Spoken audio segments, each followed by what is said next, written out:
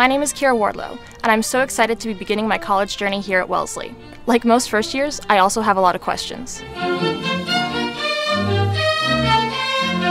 Wonderful. I'm always bragging about it to my friends. English is such a broad uh, discipline at this point. We have an incredible curriculum which spans everything from Chaucer to uh, contemporary uh, American novel. Shakespeare, I've taken modern uh, British literature, I've taken a class on 19th century romance novels, and then um, also I'm taking lit theory now. And there's Asian American literature, and there's so many seminars on different topics. My experience reading Shakespeare as a non English major was probably one of the best experiences I've had at Wellesley. I actually ended up liking Romeo and Juliet, which I did not go into the class expecting to do, but the professor really made me believe in true love.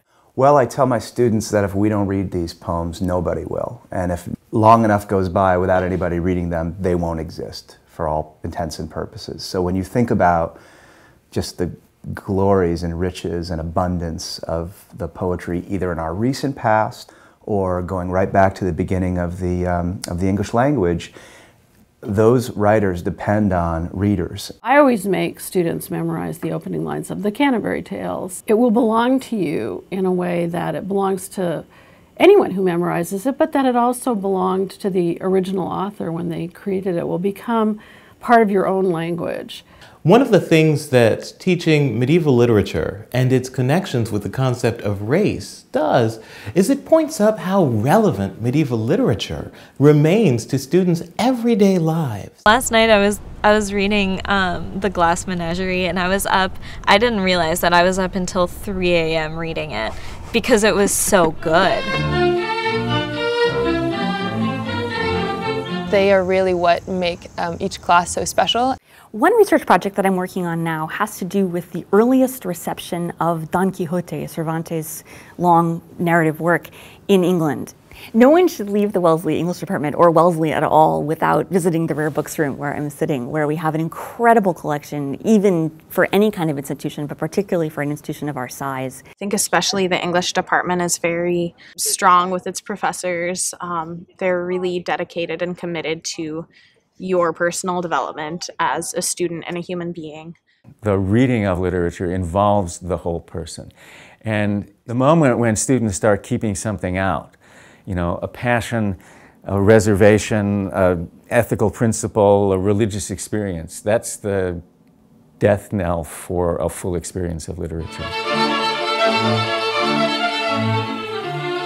Every book I read is like an adventure I take with two different people or three different people who go off and experience something wonderful and I get to tag along. I feel like art and English gives me life. I like especially reading when I'm particularly stressed or feeling very emotional because it helps me to kind of have a broader perspective of everything. The poetry of Chaucer is as relevant today as it was when it was written in the 14th century and that uh, beyond that, it's just spectacularly, breathtakingly beautiful to listen to.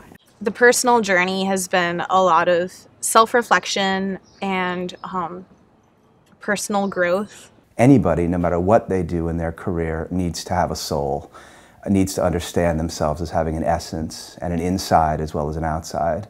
And I think what poetry does is create and tend our interiors.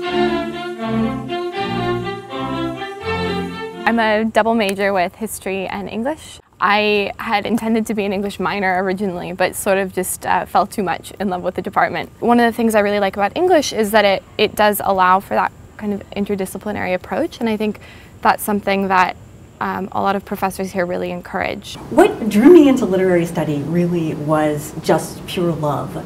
English seemed to me to be a discipline that embraced other traditions, other materials, other um, critical approaches into it. For me, choosing English as opposed to choosing Spanish or, or com uh, comparative literature was in some ways a political choice because not only did I fall in love with the, um, you know, with the modernist, English modernists uh, and American modernists, but also um, as a Dominican American, I feel like I have an interesting story to tell that you can, um, that your, your passions don't have to be defined by your identity, but they can also be informed and enriched. Turning to medieval literature and medieval English in particular made me a better reader of English on the whole. Taking English courses and feeling like I've really come into my own and discovered my own ability to express myself and communicate with others has been uh, a really incredible aspect of being an English major. I don't think it's a hard sell. I think students just need to be in the presence of really powerful old texts in order to feel their magic.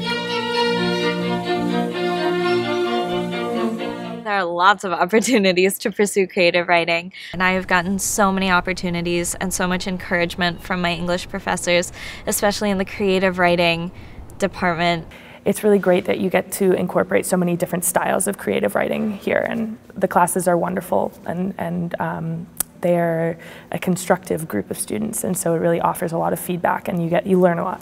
We have uh, wonderful inter internships with prestigious poetry journals like Agni, which is one of the most prestigious journals in the whole world of publishing. I get to use my creative writing outside, um, outside of school at um, a magazine. It's called Boston Common Magazine. On campus, I work with um, a publication called Change Magazine. The Wellesley Review um, is, I mean, it's one of Wellesley's um, several student-run publications. Can really do anything with it. I think um, I'd been thinking about law school for a little bit of time, um, or journalism, or um, working for the United Nations or something like that. I think English really prepares you for anything.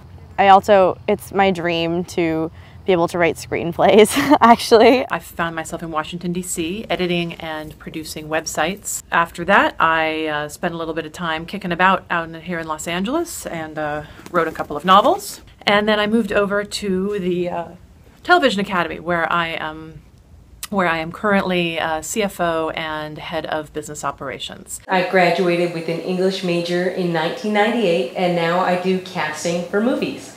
For me, being an English major is about understanding and communicating with other people. I learned to write and to think analytically and critically and to draw conclusions and to draw conclusions really thoughtfully and deliberately.